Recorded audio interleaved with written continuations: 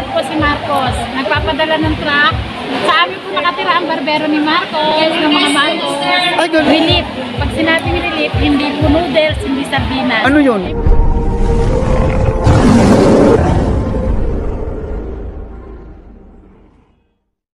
Ang barbero ni Marcos. Ha? Sa amin po nakatira ang barbero ni Marcos, ng mga Marcos. Ay, ganun. Mami Cruz, ang asawa, Ito lang ang bahay niya, dito lang kami. Kaya anong araw, kami yung mga biyaya ni Marcos talaga nakuha namin. Hindi kami pinabayaan ni Marcos. Yung kapitbahay nyo, barbero ni Marcos. Sinong Marcos Ferdinand E. Marcos Sr.? Ay, yung tatay. Yung tatay mismo.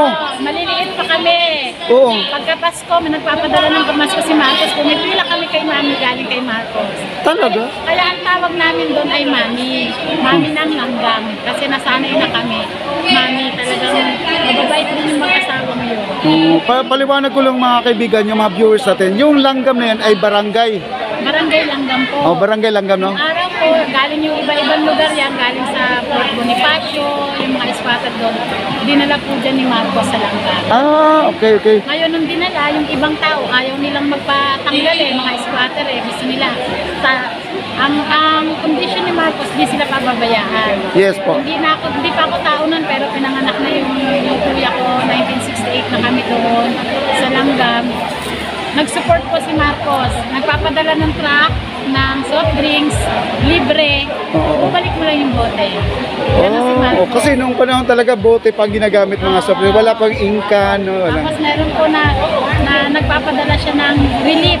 Pag sinabing relief, hindi po noodles, hindi sardinas. Ano yun? Imported po, mga maling po. Yun ang pagkain namin galing kay Talaga? Ganun po. Eh bakit ngayon may mga maling, ah, may mga ano, sardinas na iba na? Siguro iba na talaga na. na. ang ano, pero nung panahon noon, Para mabigyan. hindi kami, hindi kami ano, libre ang ano sa amin. May, ang may hirap noon, digatas. Kasi Ah. libre ang cream. Ah. Meron kaming Nutriban, meron kaming yellow corn. Sabi ng mga, hindi, yung iba, sabi ng iba, may, eh, mahirap naman panahon noon, kaya kayo binibigyan eh. Pero malaking tulong kasi yung ibibili namin ng merienda, binibili namin yung bigas kasi nakakalibre kami sa merienda. Yes Yung yellow corn, pwede namin ilugaw, isuman, isangat. Oh. Yung gatas, Ano? Grabe pala. ano. Yung tubig. Second nominee po ako sa STL Party List. So, bali yung STL Party List, nag-start siya sa foundation na doon sa Cebu nag-umpisa 2017. So, doon natin tulungan namin mga minority, mga bata, mga, mga nangangailangan ng tulong through the sponsored by yung STL na corporation yung alam niyo yung uh, small town lottery. Opo, opo. Sila yung naging sponsor namin. Sponsor yung sa. So, ganun. So, uh, later on, I realized namin they are a minority with uh, wrong goals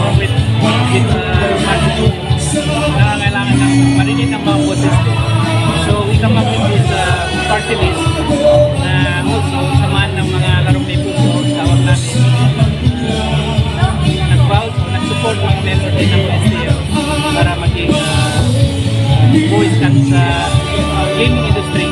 Pero as a whole also, we also, katulad ko, galing ako from online industry, online gaming.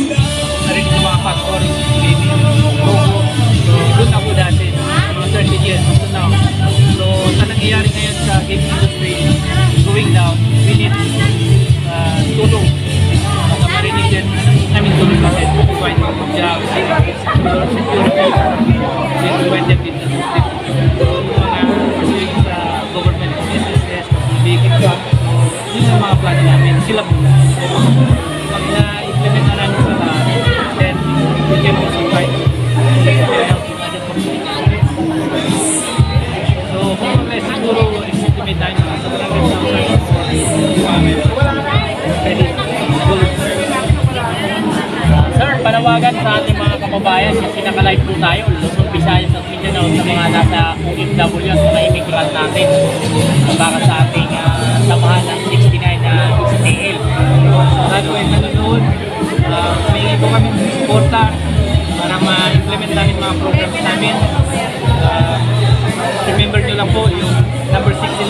69 sa balota. Sa likod siya ng uh, forms. lalo Kabilang balutan. Balota. So number 69 siya. At uh, kung first time siya yung photo, malala lang po sa party list, only one party list.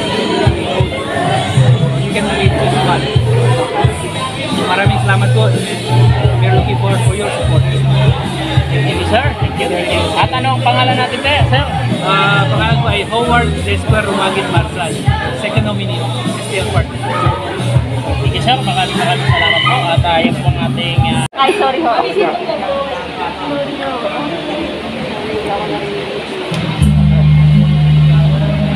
Sentro ka na daw. Maganda pa. Bakit? Ayun o. Ayun, din dati o. Galing po akong Ayun ka ba?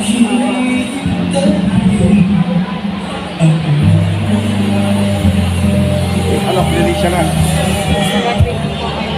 Okay na, okay na kayo. Okay na ito. Okay na po. Thank you.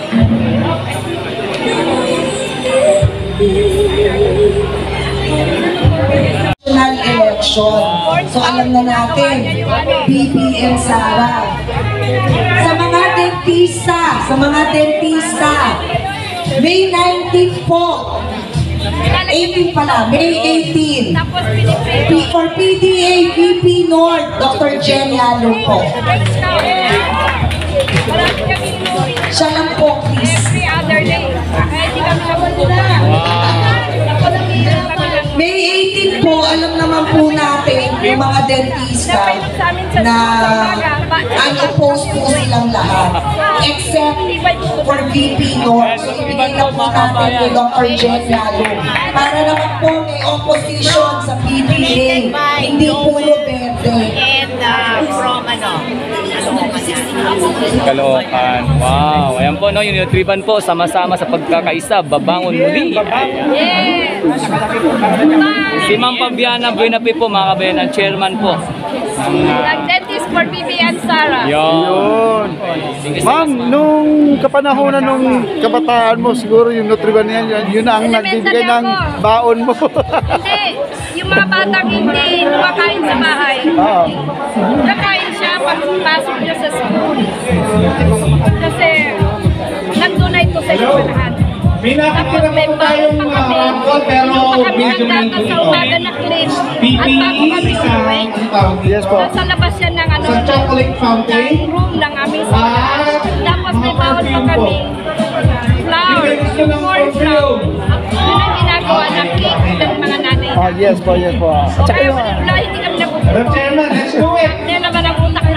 Yun. kaya hindi nagugutom pa. Kami present yung mga bata, walang malakas na absent. malusog. Malusog, malakas. At 71 years old.